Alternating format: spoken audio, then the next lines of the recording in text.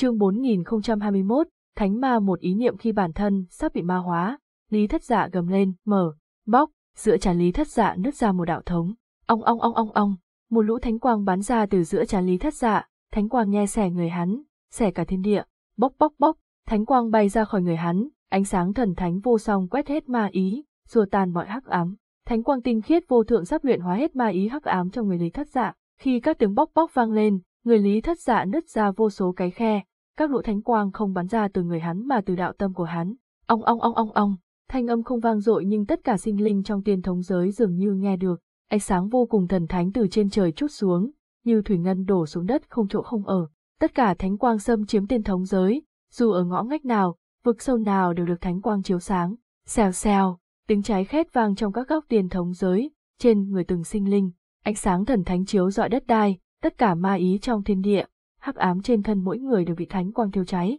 cơ thể mọi người được thánh quang thần thánh vô thượng đốt kiều bóc bóc, tất cả sinh linh tu sĩ, núi non sông ngòi sắp bị ma hóa đều trở về bộ dạng cũ, cường giả tu sĩ không người khi được thánh quang chiếu rọi cũng biến về hình dạng của mình, Lý Thất Dạ trở thành nguồn thánh quang, đạo tâm tuôn ra thánh quang chiếu sáng cửu thiên thập địa, khi đạo tâm của hắn phát ra thánh quang mênh mông nhất, Lý Thất Dạ thành ánh sáng chói lòa nóng cháy nhất thiên địa, thành khởi nguồn mọi ánh sáng trên cõi đời, cảm nhận thánh quang chiếu rọi, thánh quang tinh khiết khiến tất cả sinh linh trong thiên địa quy y dưới thánh quang, thành môn đồ của thánh quang. Thánh nhân dáng thế sao? Thánh quang chiếu rọi đất đai, phủ độ chúng sinh thật thuần khiết, thần thánh, không vấy bẩn, nó có thể luyện hóa hết thảy hắc ám, khiến bất cứ sinh linh nào dù là ác ma cũng có thể lòng sinh quang minh, hướng tới quy y quang minh. Thánh quang tinh khiết làm vô số sinh linh tiên thống giới muốn quỳ lại, cảm nhận ánh sáng thần thánh như vậy, dù là thủy tổ cũng rung động, người này là ai, không lẽ là viễn hoàng thánh nhân, trên cõi đời còn ai có ánh sáng thần thánh như vậy, thủy tổ nhớ đến một vị thủy tổ là viễn hoàng thánh nhân,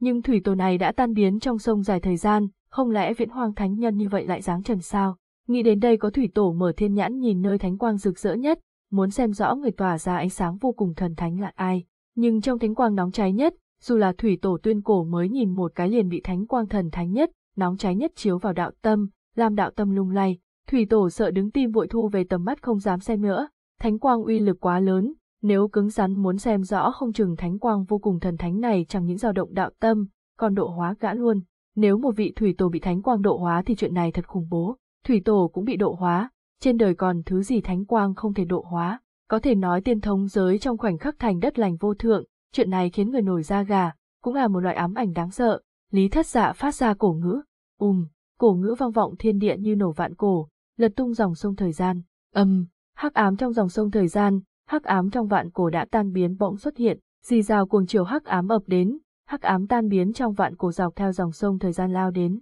cuồng chiều hắc ám tan biến trong vạn cổ ập đến, người lý thất dạ vang lên lốp bốp, từng lũ hắc ám ma diễm lại nở rộ, hắc ám cuồng bạo vô song dường như muốn chiếm cứ cơ thể, đạo tâm của lý thất dạ, cuồng chiều hắc ám cuồng bạo lao đến, tiếng xèo xèo vang lên, cuồng chiều hắc ám chiếm ưu thế, muốn dập tắt thánh quang tuôn ra từ người lý thất dạ, thánh quang chiếu dọi đất đai phải biến mất, cuồng chiều hắc ám ập đến, trong khoảnh khắc hắc ám chiếm ưu thế, bốc một tiếng tất cả sinh linh trong thiên địa lại có hiện tượng ma hóa, hắc ám vốn đã rút đi lại hiện ra, cơ thể lần nữa biến đổi, bọc nanh, gai xương dài ra, ma háo làm mọi người sợ tơ tim. Mợ ơi! Bất hủ chân thần có thực lực co giò chạy trốn, chém hắc ám trên người, nhốt mình trong quan tài kín. A, tiếng hú chói tai vang lên, cường giả tu sĩ không có đủ thực lực cường đại, ước ước vạn sinh linh chịu đựng ma háo dày vò. Đinh đinh đinh đinh đinh, từng tiếng ngân như xích sắt vang lên, bùm một tiếng nổ nhức óc, bầu trời phía xa xuất hiện ba vòng xoáy lớn, 12 pháp tắc lớn rụ xuống, thủy tổ hoang mang, đó là cái gì? Đinh, thủy tổ không nhìn thấu đó là cái gì, thứ này đã khóa đạo tâm của Lý Thất Dạ, đây là Thái Sơ Nguyên Mệnh, nó khóa đạo tâm của Lý Thất Dạ lại, khóa hắc ám xâm nhập đạo tâm của hắn. Bùm, mọi người chưa hiểu ra sao thì thánh quang nổ tung, vừa rồi thánh quang chiếu dọi đát đai đã đủ mạnh, nhưng khoảnh khắc này thánh quang tăng vọt gấp ngàn vạn lần, như thánh quang tích lũy vạn cổ đến nay cùng bộc phát, ánh sáng khủng bố lan tràn cả thế giới, như cơn lũ gột rửa cả tiên thống giới, góc tối tăm bao nhiêu, vực sâu thăm thảm cỡ nào vào phút này đều bị thánh quang nổ tung gột rửa. Bùm, vang tiếng nổ điếc tai, khi thánh quang nổ thì cuồng chiều thánh quang vô cùng đáng sợ tràn khắp thế giới,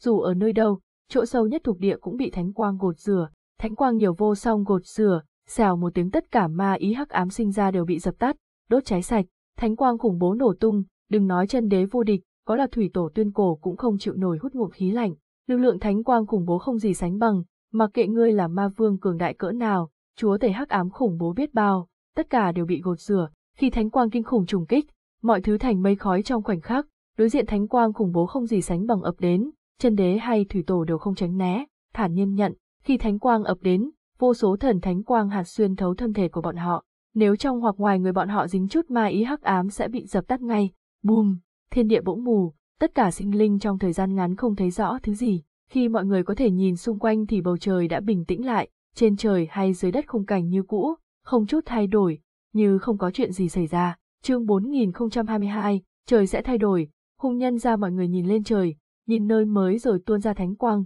nhìn nơi chịu đựng thiên kiếp, nhưng chỗ đó trống rỗng chẳng còn lại gì, mọi người nhìn bốn phía, nó nhau, không có chuyện gì hết, thân thể họ không mọc nanh, da lông, không bị ma hóa thành mãnh thú hắc ám, dường như mọi chuyện vừa rồi chỉ là ác mộng, không thật sự xảy ra, nhưng ác mộng không thật như vậy, không thể nào mọi người, tất cả sinh linh cùng một giấc mơ được, vô số sinh linh trong thiên địa nhìn nhau, cường giả tu sĩ ngẩn ngơ, không ai biết chuyện gì xảy ra. Chỉ có những bất hủ chân thần, chân đế vô địch, thủy tổ tuyên cổ cường đại không gì sánh bằng là biết chút ít, trong khi người trong thiên hạ ngạc nhiên, thủy tổ tuyên cổ, chân đế vô địch bay nhanh tới chỗ lý thất dạ vừa ở, thủy tổ tuyên cổ vừa bay vừa cẩn thận lấy ra các báu vật vô địch bảo vệ người, thi triển các công pháp vô địch bảo vệ mình. Sau khi xác định không có nguy hiểm thủy tổ mới lao vào nơi lý thất dạ vừa ở, nhưng thủy tổ không thấy ai hay thứ gì, chỗ này trống trơn, không chút dấu vết, như không có chuyện gì xảy ra, thủy tổ thất vọng, đến chậm một bước, tốc độ của gã đã rất nhanh nhưng vẫn chậm, không thấy tận mắt người chịu đựng thiên kiếp, diệt hắc ám là thần thánh phương nào, không được thấy vị tồn tại cường đại đó,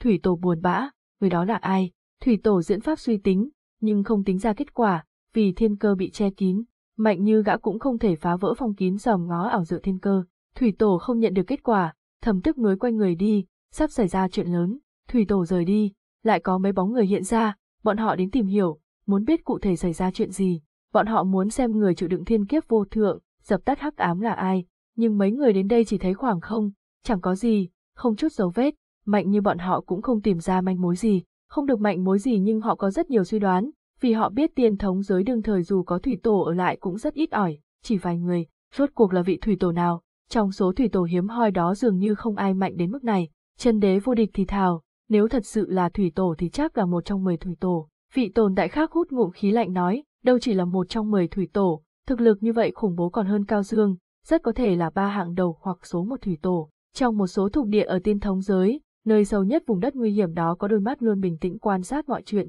ánh mắt lạnh lùng nhưng thấy rõ thiên địa, xem vạn cổ, đôi mắt chỉ bàng quan quá trình, khi mọi thứ tan biến con mắt mới nhúc nhích, sâu trong hung địa, một giọng nói trầm thấp vang lên, đây là người xứ ngoài từ đâu đến, sao tam tiên lại ra một thủ lĩnh, thủ lĩnh thật sự, những hung địa cách xa ước vạn trời sao nhưng tồn tại trong hắc ám có thể giao lưu bằng cổ ngữ, là phúc thì không phải họa là họa thì tránh không khỏi, sâu thăm thẳm vọng ra tiếng cảm thán trầm thấp, rốt cuộc sắp đến, thế giới này đã trốn quá lâu, chỉ sợ không tránh được nữa, sau khi thánh quang nổ tung mọi thứ quay về bình tĩnh, trở lại như cũ, tiên thống giới không xuất hiện ác ma cũng không có chuyện khủng bố gì, việc xảy ra ngày hôm nay tựa như ác mộng, mọi người không rõ là chuyện tốt hay xấu, tiên thống giới ồn ào náo động, vô số cường giả tu sĩ bàn tán, nhưng thảo luận tới lui mọi người không kết luận được gì. Cuối cùng nhiều người công nhận là có ma tổ giáng lâm cõi đời như bị một thủy tổ vô địch trần đời chấn giết tại chỗ, không ai biết thủy tổ đó là ai, mọi người cũng không rõ ma tổ đó là thần thánh phương nào. Vì vạn cổ đến nay nguyên tam tiên giới không xuất hiện chuyện như vậy, không có ghi chép gì về ma tổ.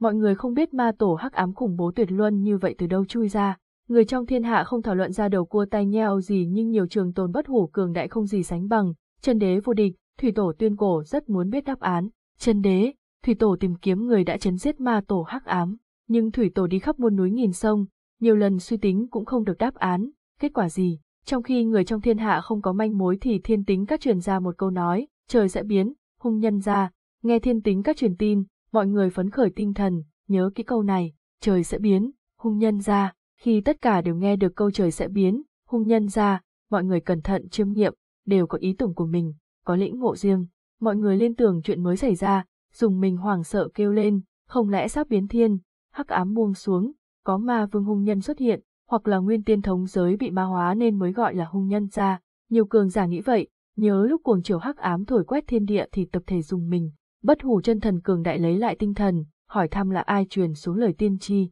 ai trong thiên tính các truyền tiên tri như thế. Một số trường tồn bất hủ, Chân thần vô địch hỏi thăm rốt cuộc được đến đáp án, Hòa Bích Thủy Tổ, được chính xác đáp án, nhiều tồn tại đứng trên đỉnh tiên thống giới lòng chấn động, Hòa Bích Thủy Tổ, Thủy Tổ khác cũng hút ngụm khí lạnh, Hòa Bích Thủy Tổ nhưng tính thiên mệnh, trăm ngàn vạn năm qua mọi người biết Hòa Bích Thủy Tổ bạc tính vô song, chưa từng có ai vượt qua, mọi người biết Hòa Bích Thủy Tổ một lời ngàn vàng, nàng không chỉ tính vận mệnh một người còn có thể tính thiên mệnh, bây giờ Hòa Bích Thủy Tổ truyền xuống tiên tri như vậy thì chắc chắn sẽ xảy ra việc lớn, có Thủy Tổ lo lắng tương lai, đi thiên tính các bái kiến Hòa Bích Thủy Tổ, thiên mệnh, đại thấy tương lai như thế nào, nhưng thiên tính các ở đâu không ai biết, Hòa Bích Thủy Tổ không tung tích, tồn tại mạnh cỡ nào đi bái kiến Hòa Bích Thủy Tổ thì nàng đều không lộ mặt, trừ câu trời sẽ biến, hung nhân ra ra không ai được thêm nửa chữ từ Hòa Bích Thủy Tổ. Thủy Tổ thở dài đành rời đi, xem ra Hòa Bích Thủy Tổ không chịu tính nữa. Mạnh như Hòa Bích Thủy Tổ nếu tính trời thì rất nguy hiểm, vì đó là hành động nghịch thiên, sẽ vởi ác nạn cho mình,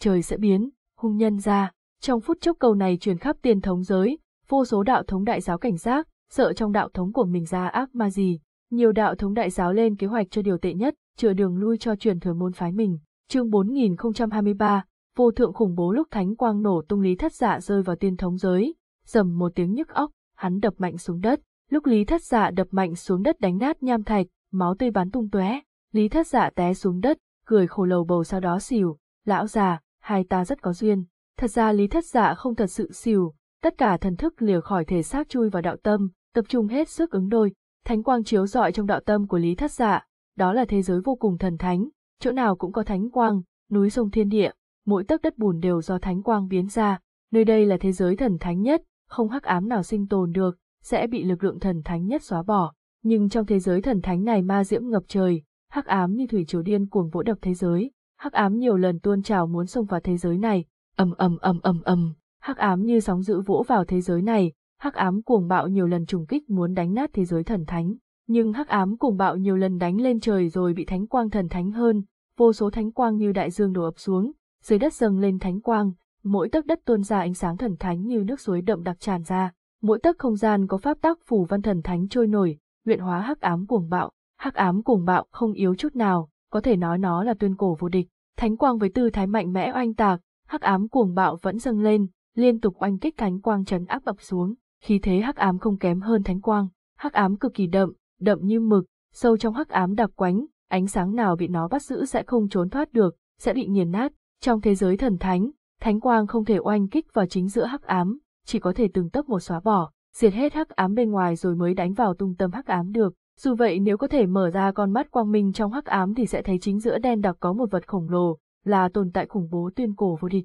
12 sợi pháp tắc trói chặt tồn tại khủng bố tuyên cổ vô địch, ba vòng xoáy lớn chấn áp không cho nó trốn thoát. Tuy tồn tại khủng bố vô thượng bị khóa lại nhưng lực lượng hắc ám nhiều lần đánh vào thế giới thần thánh, muốn phá sập thế giới, công phá đạo tâm của Lý Thất Dạ, cho nên tồn tại khủng bố vô thượng nhiều lần oanh tạc thế giới thần thánh, dao động thế giới. Nó muốn dao động đạo tâm của Lý Thất Dạ, công phá đạo tâm. Đôi khi nghe tiếng xèo xèo, hắc ám diễn biến nguyền rủa cực kỳ độc ác muốn xâm thực đạo tâm, nhưng vô ích. Hệ hắc ám xâm thực là thánh quang sẽ luyện hóa ngay. Bùm bùm bùm bùm bùm, tiếng oanh kích không ngừng bên tai, nhưng không lay động được đạo tâm của Lý Thất Dạ. Trên đời này đã không có thứ gì kiên định hơn đạo tâm của Lý Thất Dạ, bởi vậy hắn mới dẫn tồn tại khủng bố vào dọ, biến pháp tác hắc ám mà tồn tại hắc ám khủng bố để lại làm hắn sống giữa trong đạo tâm. Khi tồn tại hắc ám khủng bố muốn xâm nhập thân thể Lý Thất Dạ, chiếm làm của Dương liền chúng kế hắn, nháy mắt giam cầm tồn tại hắc ám khủng bố trong đạo tâm, hoặc nên nói tồn tại hắc ám khủng bố vô thượng biết Lý Thất Dạ đặt bẫy, biết hắn đang dụ vào dọ nhưng vẫn xông vào đạo tâm của hắn.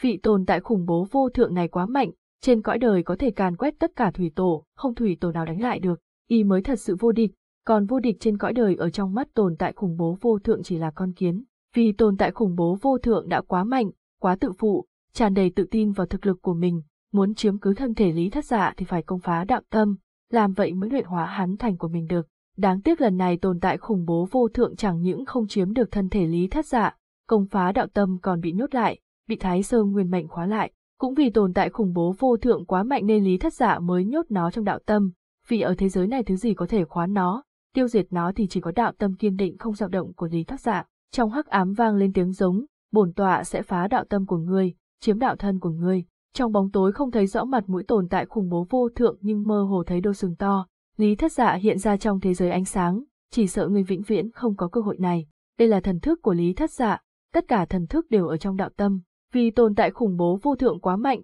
Mạnh hơn toàn bộ kẻ địch lý thất dạ từng gặp, hắn phải hết sức tập trung ứng đối không thì chẳng thể nào tiêu diệt được. Tồn tại khủng bố vô thượng thốt ra cổ ngữ, ngươi không phải thánh nhân, quang minh không thể vĩnh hằng. Cổ nữ xa xưa đến không cách nào ngược dòng, xưa hơn bất cứ thế giới nào. Nhưng đến trình độ như họ thì giao lưu bằng tiếng gì chẳng là vấn đề, thân niệm có thể đọc hiểu hết. Lý thất dạ mỉm cười nói, ngươi nên biết quang minh hay hắc ám chỉ là hình thức, chỉ có đạo tâm không thay đổi mới là tuyên cổ. Ta một niệm thần thánh, thế gian liền có quang minh, ta một niệm hung ác, thế gian có hắc ám, chúa cứu thế và ma vương chỉ trong một ý nghĩ, tồn tại khủng bố vô thượng trong hắc ám im lặng, đẳng cấp như bọn họ đã hiểu thấu, tồn tại khủng bố vô thượng thốt ra cổ ngữ lạnh băng vô tình, nếu bổn tọa hoàn toàn khỏe thì đã phá đạo tâm, chiếm đạo thân của ngươi, nước đại thế giới, tồn tại khủng bố vô thượng trong hắc ám không hùng hổ uy hiếp, lời nói lạnh băng đủ làm chân đế hay cả thủy tổ phải hồn phi phách tán. Lý thất dạ cười nói, không thể phủ định ngươi rất cường đại, mạnh đến không gì sánh bằng, hắc ám, thủy tổ gì đó không thể so sánh với tồn tại khủng bố như các ngươi.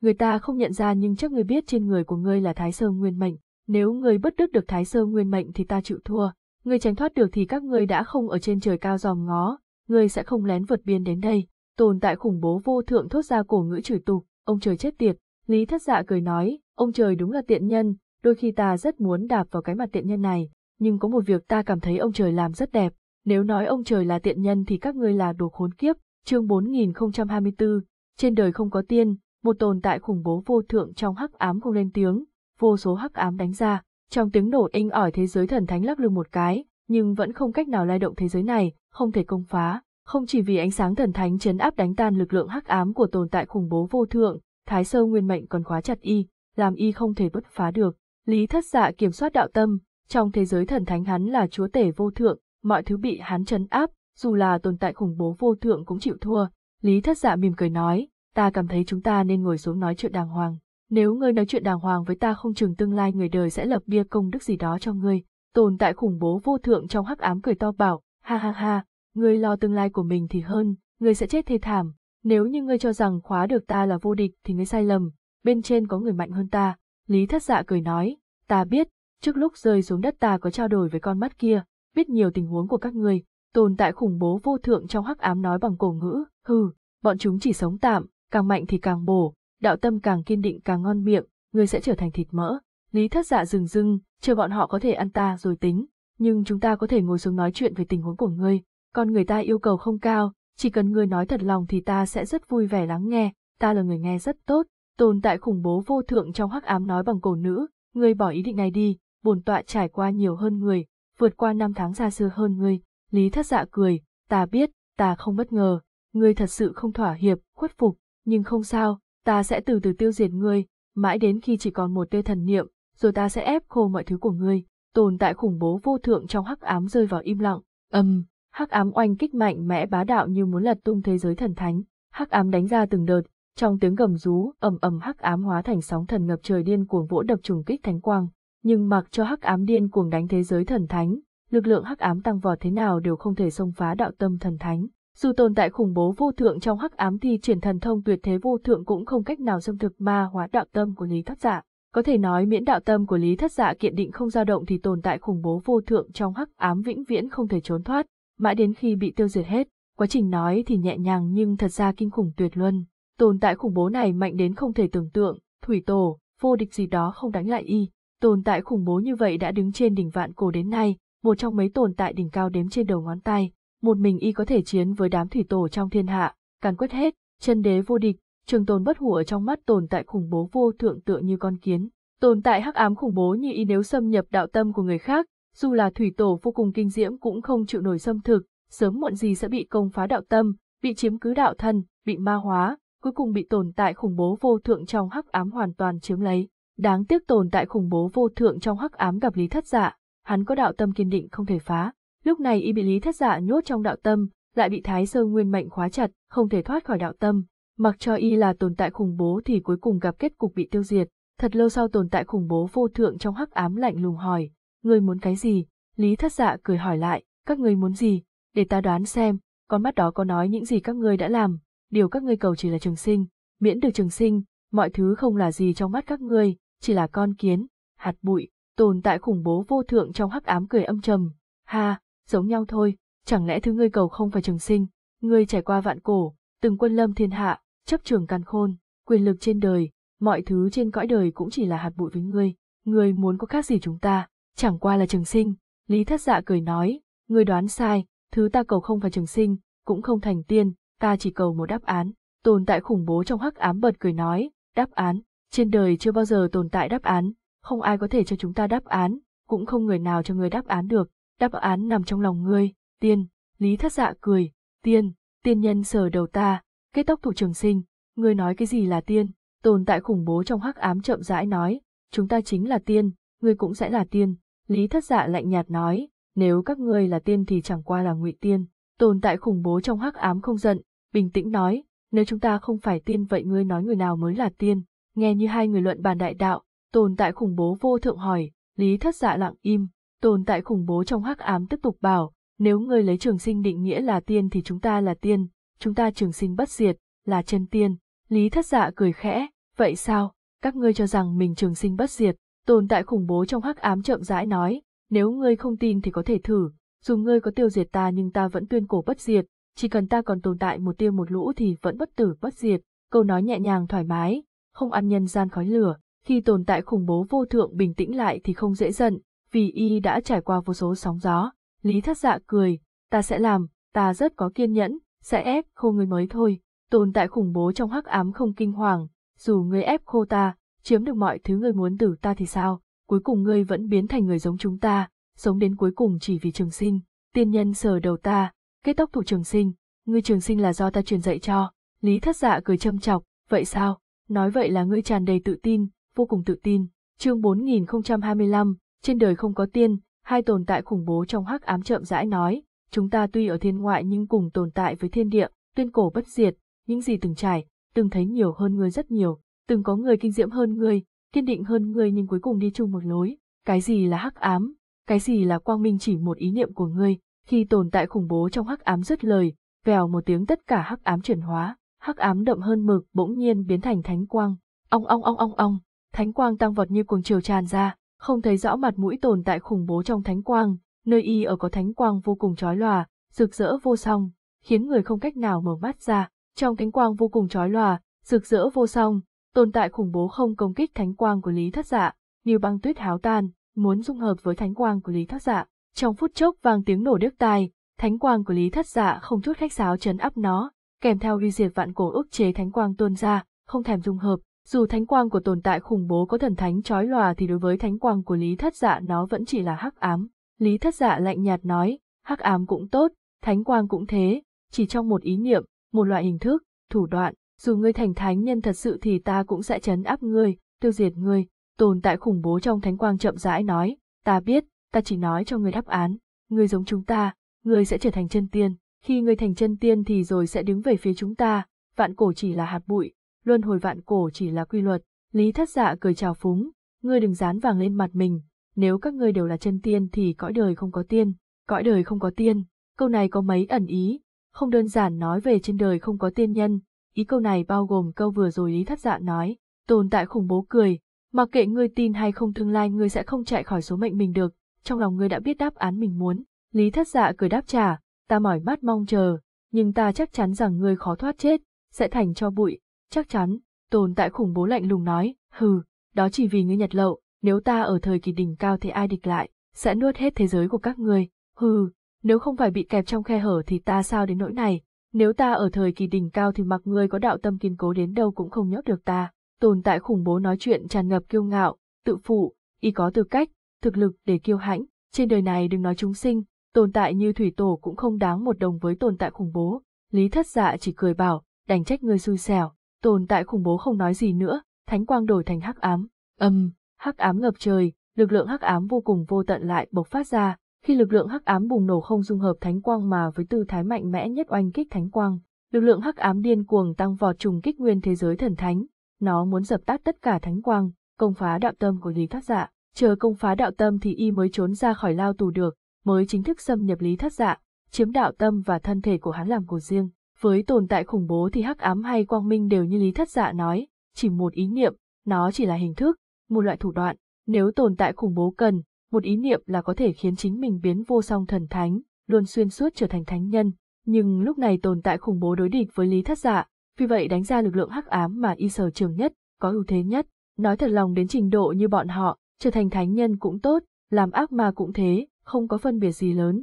chẳng qua cách cầu khác nhau, chị thấy khác biệt, bọn họ vẫn là họ, sẽ không vì trở thành thánh nhân hoặc làm ác am mà thay đổi bản chất, họ chưa từng thay đổi bản chất, giống như tồn tại khủng bố, bản chất của họ là trường sinh, nhóm người bọn họ trường sinh bất diệt, bọn họ chính là tiên nhân, lý thất dạ từ vũ trụ rơi xuống, rớt vào rừng sâu, đụng nơi này thùng cái hố sâu, ngày đêm trôi qua, hố sâu mọc ra cây cối cỏ xanh, từ từ thành rừng rậm, chỗ lý thất dạ rớt xuống tên là tiên ma đạo thống, nói đến thì nó có lai lịch riêng, tiên ma đạo thống do trường sinh lão nhân sáng lập, trường sinh lão nhân là một thủy tổ rất thần kỳ, dám tự xưng trường sinh tất nhiên có đạo lý riêng, nghe đồn trường sinh lão nhân là người duy nhất hiểu luân hồi, biết luân hồi từ vạn cổ đến nay, nên đời sau có tin đồn trường sinh lão nhân từng trải qua luân hồi nhiều thời đại, thân phận khác nhau, đời sau có nhiều chân đế vô địch, thủy tổ tuyên cổ rất hứng thú với trường sinh lão nhân, bọn họ muốn biết ảo diệu của luân hồi, nhưng trong dòng sông thời gian dài, trường sinh lão nhân cực kỳ bí ẩn, thường là thần long thấy đầu không thấy đuôi, trên đời dù có người biết trường sinh lão nhân đã luân hồi nhưng ít ai thấy chân thân của lão.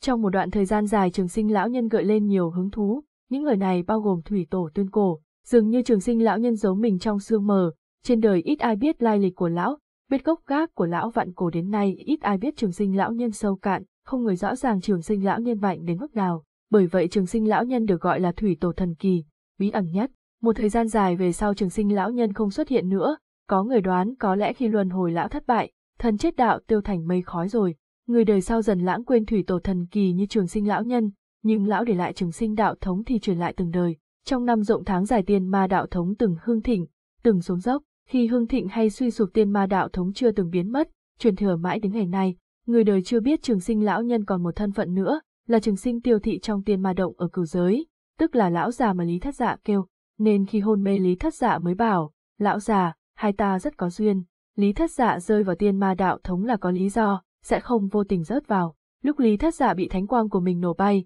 trong tiên ma đạo thống phát ra lực kéo cực mạnh lôi hắn đến, nên hắn rớt vào tiên ma đạo thống. Hãy nhấn like và đăng ký kênh để không bỏ lỡ những video hấp dẫn tiếp theo. Cảm ơn các bạn đã xem.